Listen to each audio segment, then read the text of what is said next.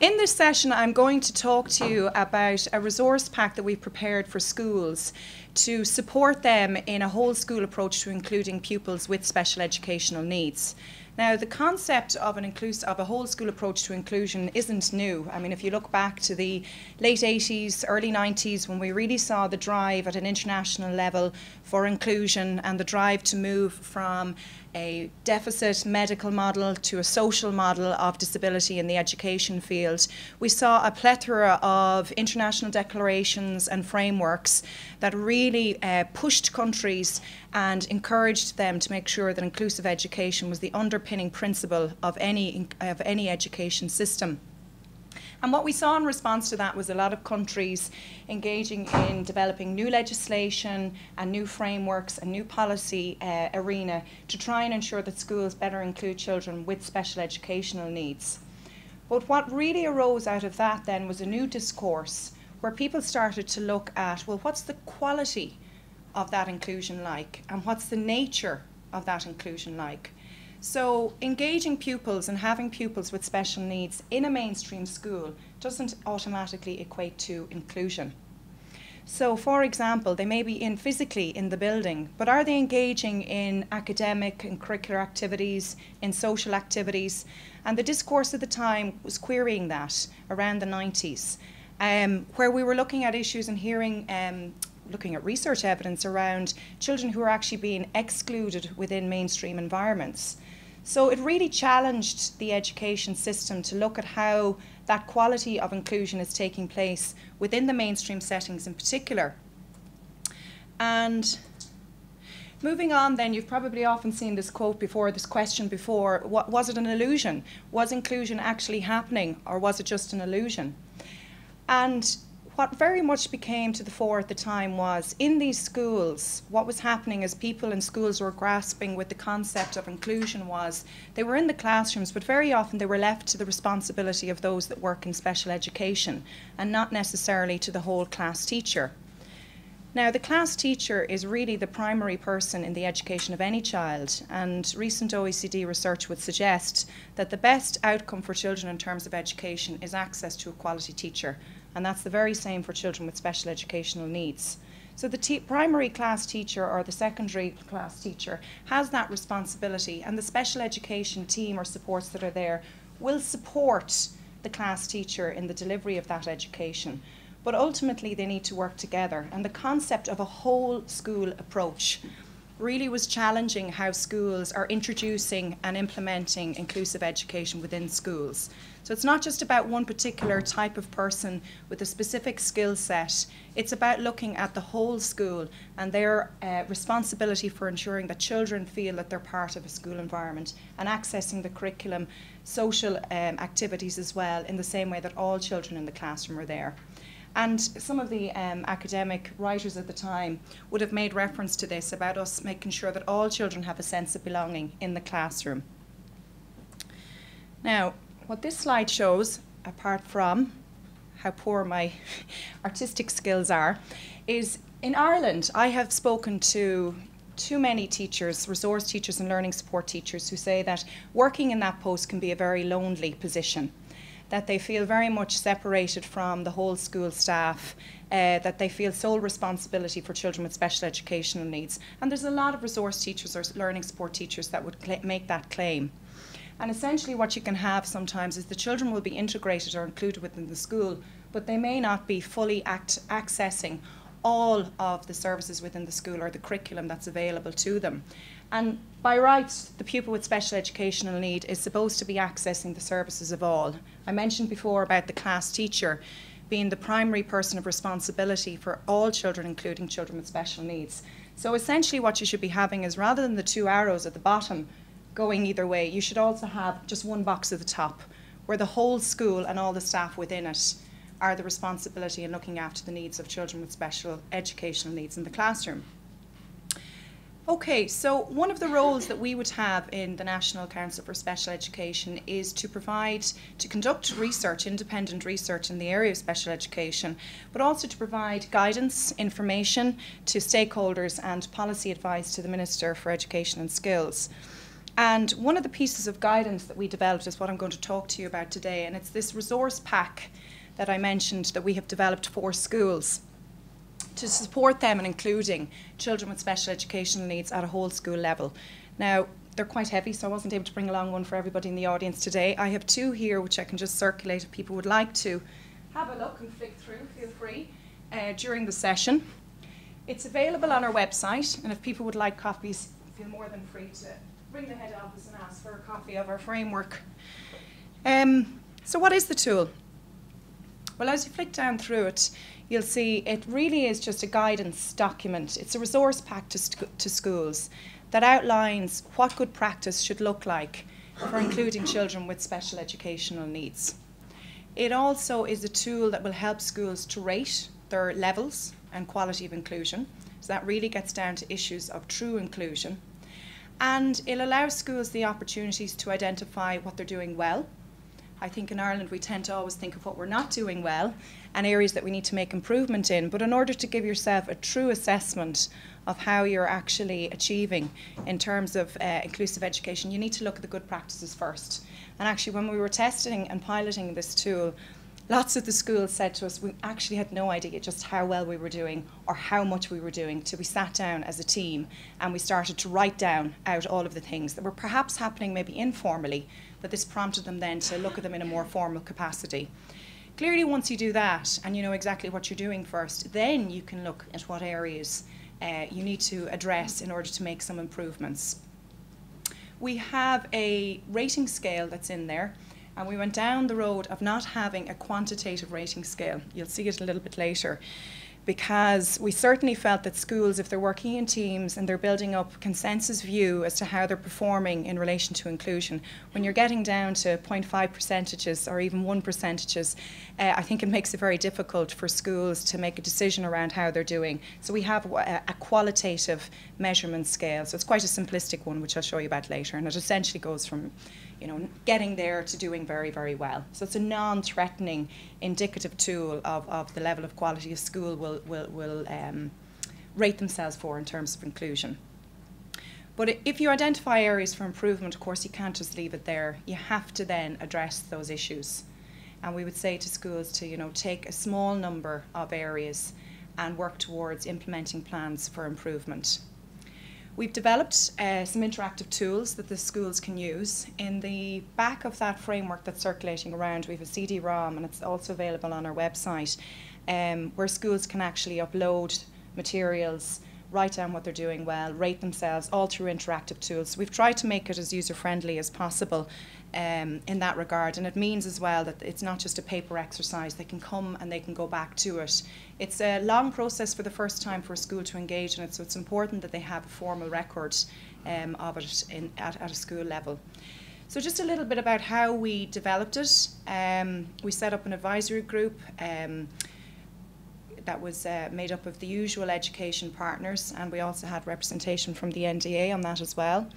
Uh, we had to look at the literature. In fact, some of where this originally arose from was we had commissioned a literature review looking at the principles and practices of inclusive education.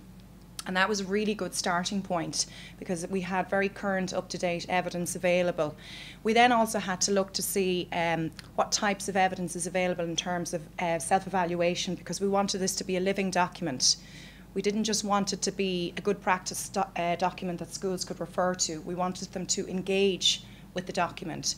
So we needed to look at what other types of quality assurance tools were out there in terms of uh, measuring quality within a school. So that was also the type of literature that, literature that we engaged in. When we had a reasonably good draft, we went to, we recruited 10 pilot schools, five post primary, three primary, and two special schools. And that really was where the true learning actually began, was when the schools uh, took it on board. And uh, there were some really, really interesting findings from that. Just to give you an example, we would have had between eight and nine criteria per theme or per standard, which I'll show you in a moment. Initially, in the school said, way too much. There's not a chance we can get through each of those. You need to pull it back. And that was extremely challenging because this is a, a, standard tool to be used by all schools. So in order to make sure it's applicable across the sector, we were quite um, concerned that we might have lost some of the important content that was in some of those criteria. So we worked very hard to make sure that we rounded up some of the criteria without losing some of the core content. So now we have on average five to six criteria in each of the standards, which we'll come to in a moment. We then went beyond, apart from having an advisory group, we went to um, the system. I think we wrote to about 100 stakeholders and got about a 50% response rate, which I thought was a very high response rate when it comes to consultation, because I think we're all being consulted to death at the moment and have been over the last number of years. But it showed the real strong will of the system to have such a tool in place that they took the time to read it and to give the feedback, and we did significant tweaking of the final draft based on that. We then began the fun work of designing it and getting it into what we think and hope, you will agree, is uh, an accessible and an engaging version of the document, both in hard copy um, and in an electronic format. Now, we did publish it late last year, but it's really only slowly uh, rolling out into the schools this year, towards the end of the last school year and certainly the beginning of this school year. And I'll explain a little bit about why that is because we have some of our staff involved in supporting schools to kick-start it off. Our special educational needs organisers are going into schools to provide them with information seminars around it. So I'll tell you about that in a little while. Um, before we get into it, I always like showing to people what our schools found in relation to this process, certainly the pilot schools. I do hope that in a number of years' time we'll evaluate it formally with the schools who have engaged in full cycles of the framework to get their feedback on it. It will no doubt require tweaking at that particular point, but we want to see how effective this is. Have schools found it useful and helpful? In uh, supporting a whole school approach to inclusion. And we were very happy to see that the, the strongest and most consistent feedback that we got from schools was that they said, to quote their own words, it opened up special education to the whole school.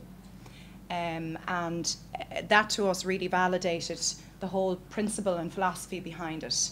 Schools felt that uh, up until they actually tested the framework, that sense of the lonely special educational needs team working together and being primarily responsible for the education of children with special educational needs really was dispelled and the whole school got involved in the process and the whole school realised and understood their responsibility in terms of ensuring inclusion right across the board. Uh, a couple of other points there, just in terms of giving us validation we were on the right track, uh, that there was a strong pupil well-being focus, concept of inclusion was good, the measurement scale was supportive. Um, I'd mentioned before the qualitative one, and they, we got quite a few comments to say that they were glad it wasn't a quantitative one. So we think we have uh, responded to the needs of the schools um, in, in relation to it. I mean, we got plenty of critical feedback as well, but it was all constructive uh, feedback, which we really replied to. Uh, some of it, as I said, by reducing the number of criteria, Others, they said that the length of time to engage in it was too short, so we've extended that as well. So we really listened to the feedback that we got back um, from our pilots in particular. What I've sent around there just as a sample, um, because I didn't want to put it up in the actual slide because it'd be just too impossible to see, is what the actual framework looks like itself.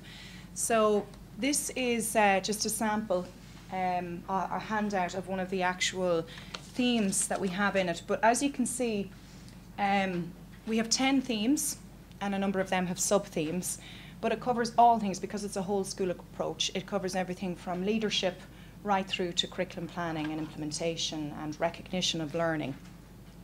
We then have a simple uh, theme description that says, right, this is what it's about. Uh, it's, it's almost like the standard goal that outlines um, a brief paragraph or a summary of what the standard or what the actual theme is hoping to achieve within a school. And then the criteria that we spoke about, um, or uh, in other systems they're called indicators, um, are, are, there's about five or six of them underneath each of the themes. Um, lastly, then, and this again was one of the feedback we got from the pilots, they said, give us some examples. The pilot schools told us it was a bit dead they couldn't visualize what it actually would look like in a school because it was all around statements, it was all around standards, it was all around indicators. So um, in the version that we've sent out there, we've given examples um, of what it would look like. So we take it at either maybe a whole school level, looking at it from the principal's perspective, looking at it from a teacher's perspective, and several examples looking at it from the pupil's perspective, just to give a little bit of life to the document as well. And we try to use uh, what we believe to be kind of user friendly and uh, accessible language that schools would be used to. They're the themes themselves.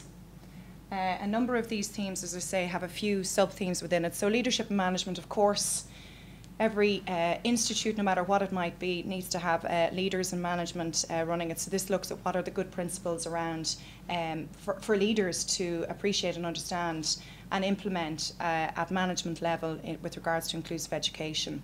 Whole school development planning really looks at the whole whole approach to planning inclusion across the board. The environment, are we looking at the accessibility of the environment? And we're not just talking about the physical accessibility, we're also looking at the accessibility of um, uh, other things within the classroom is the curriculum accessible at a classroom level? What levels of differentiation are schools engaging in to ensure all children are able to engage in and access the curriculum? Communication is very, very important, of course.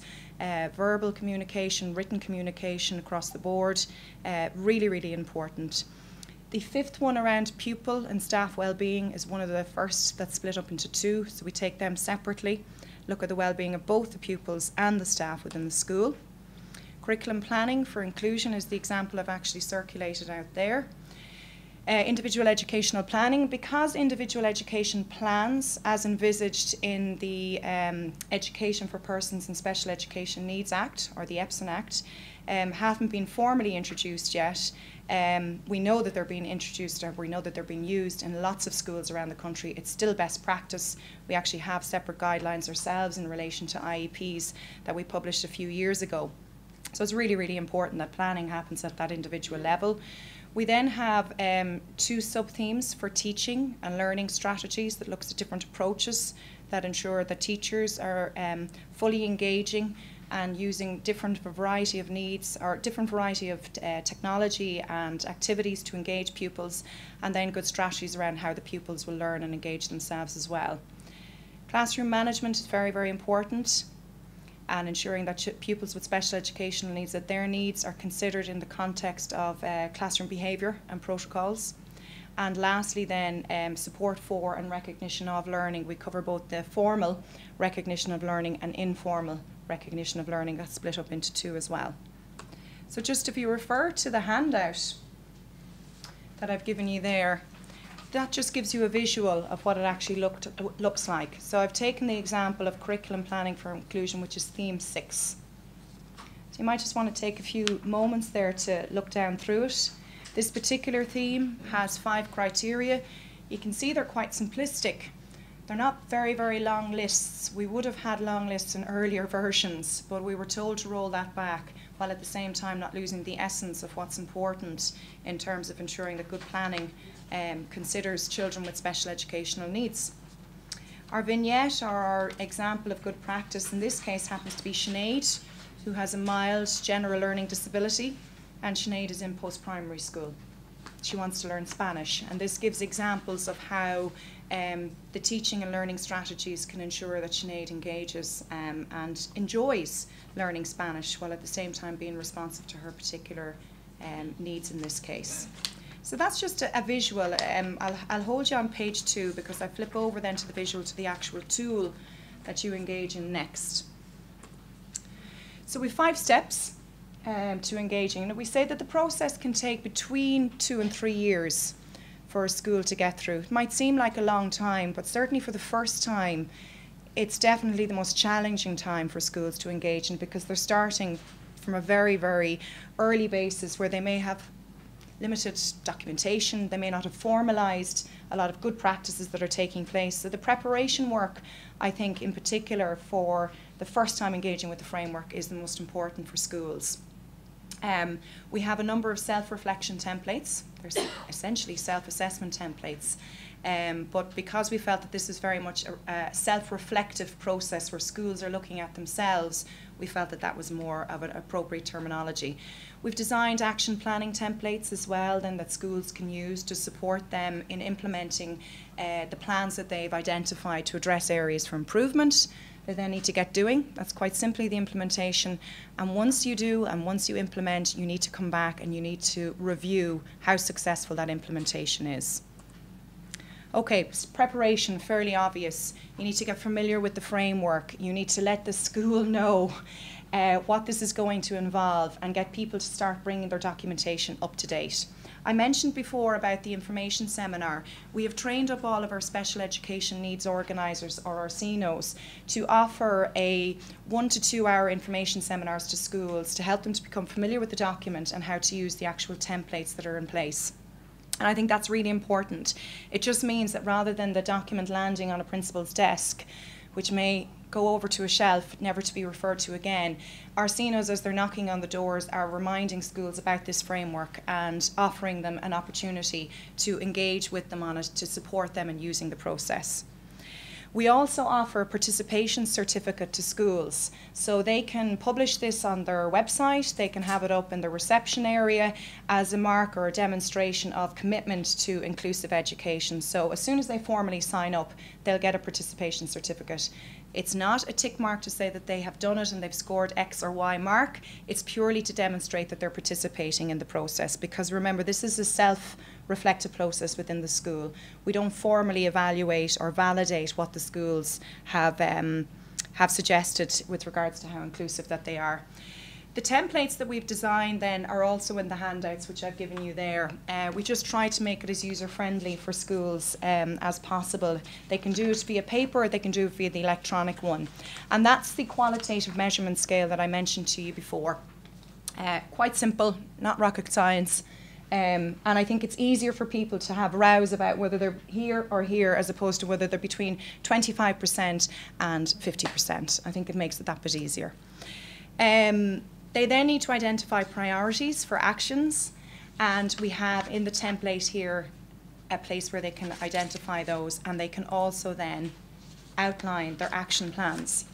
We've designed templates for them, so it's entirely up to themselves whether they use those templates. There's a lot of them floating around from school development planning and other areas, but we have designed them. And in doing so, they need to identify their actions, responsibilities, timelines in the usual planning process.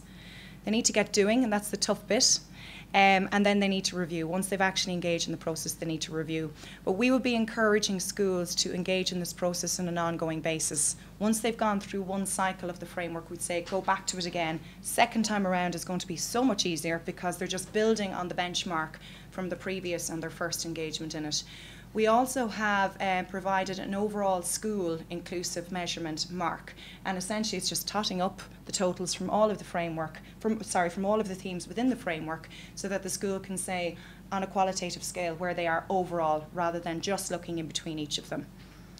And lastly, then I'll just leave you with a, a very old Native American saying which I think just describes really the essence of what this framework is doing and how important it is for everybody to be involved in the process.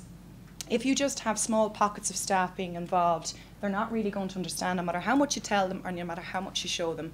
They need to be involved in the process to feel that sense of ownership in the way that all staff, we would suggest in a whole school approach, should feel when it comes to including children with special educational needs. And I know my time is just up. So thank you, Shane. So take questions.